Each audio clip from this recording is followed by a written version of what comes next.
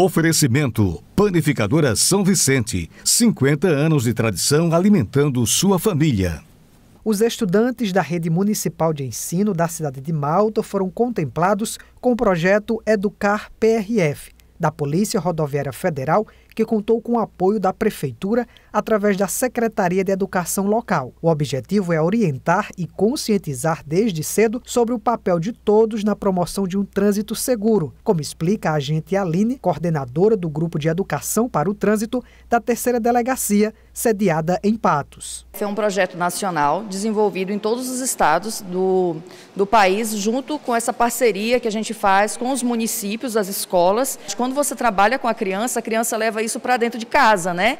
Essas aulas online estão fazendo com que o pai participe também. E o pai também, querendo ou não, está se conscientizando. E querendo ou não, a gente, nós da PRF, estamos levando a nossa mensagem até onde? Até o cidadão. A tarde dessa terça-feira foi o momento reservado para a culminância do projeto, onde os alunos apresentaram ali na frente todo o conhecimento sobre trânsito que eles aprenderam durante os primeiros meses deste ano letivo. Todas as escolas de Malta estão nos apresentando aqui como eles trabalharam o trânsito dentro da escola é, durante esse ano. Apesar de ser um ano pandêmico, as professoras conseguiram trabalhar de uma forma bem gratificante. E como tantos outros, este aluno do oitavo ano do ensino fundamental está levando para casa uma boa bagagem de conhecimento. Eu gostei bastante de participar. Foi uma boa experiência. É muito interessante de, de ver e trabalhar o trânsito, porque é algo muito presente nas nossas vidas.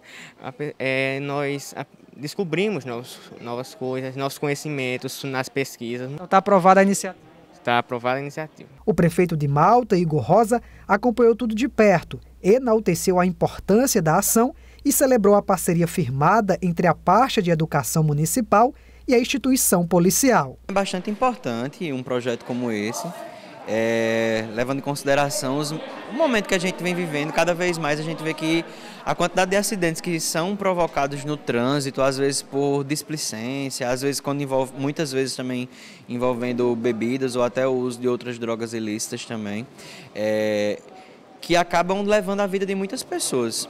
E eu acredito muito no poder que, que a educação infantil tem de transformar a questão da sociedade de uma forma geral. Através desse projeto, eu consegui, hoje a gente pode se dizer que eu tenho um bom relacionamento, um bom contato com o pessoal da PRF, principalmente aqui dos que, que estão na Central do Patos, que a gente consegue conversar tranquilamente sobre outras ações preventivas aqui no município, como já aconteceu em outros momentos, entendeu? Através de projetos como esse, a gente tem espaços abertos, né? a gente constrói relações para outros projetos. E isso é, a gente agradece bastante porque é uma abertura que a PRF está dando ao município de Malta, é um apoio significativo. O gerente executivo de transportes do Departamento de Estradas e Rodagens da Paraíba também prestigiou o evento e elogiou o trabalho desenvolvido. A PRF desenvolve um trabalho excepcional na área da educação para o trânsito. E nós temos feito várias parcerias, várias é, ações integradas ao longo da toda a BR-230, que é a nossa transamazônica. Então, é, é levar a informação para que as pessoas tenham consciência de usar as suas rodovias, as suas ruas, as suas vias de forma segura. É importante que as pessoas não, não dirijam né, com desculpas. Ah, eu esqueci o capacete, ah, eu deixei, depois eu pego, ah, eu vou ali e volto já. Então, esse tipo de desculpa, tanto do motorista, como do motociclista, como também do pedestre, é o maior causador de acidentes.